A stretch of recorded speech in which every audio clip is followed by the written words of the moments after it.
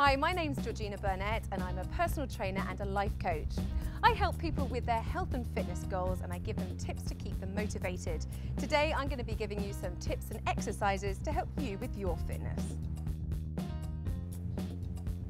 In this video, I'm going to tell you how to get skinny arms. Now, it's really important to be aware of your particular body type.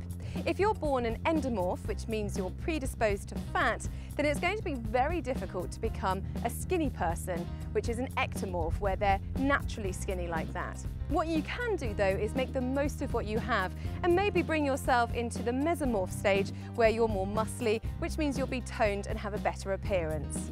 To tone your arms, you really need to use some kind of weight.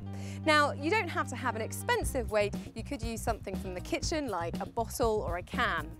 The first exercise starts with your arms at a right angle to your shoulders.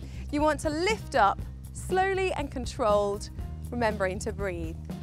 You want to do 8 to 12 repetitions of this and then have a rest. As your strength increases, you can increase the repetitions or the sets.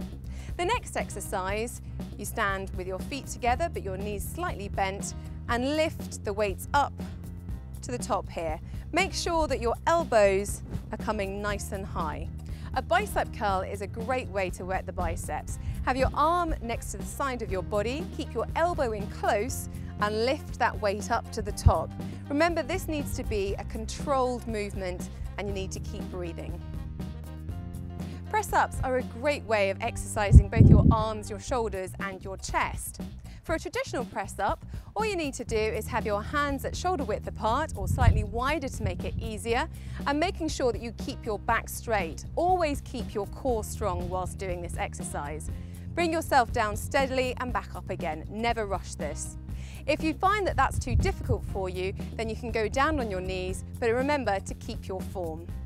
So for a traditional press up, what you want to do is have your hands either at shoulder width apart or slightly wider apart to make it easier.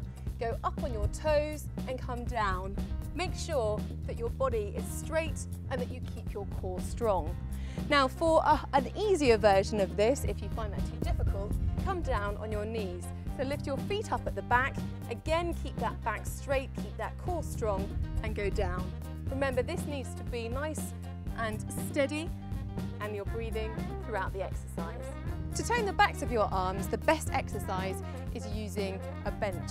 Now, either a gym bench or you can use a, a, table or a chair, and you want to lean against it with both hands on the edge of the bench.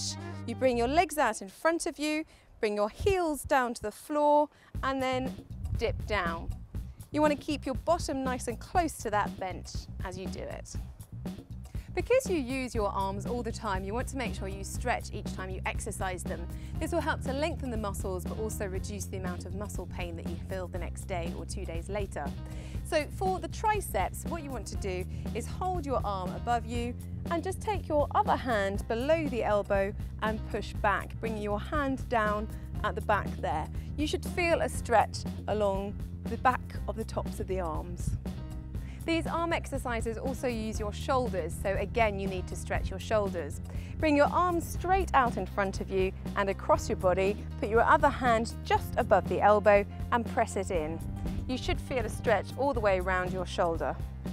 Because you use your arms all the time, it's really important to stretch them after you've been exercising them. This will lengthen the muscle, but will also reduce the amount of muscle pain you feel later on.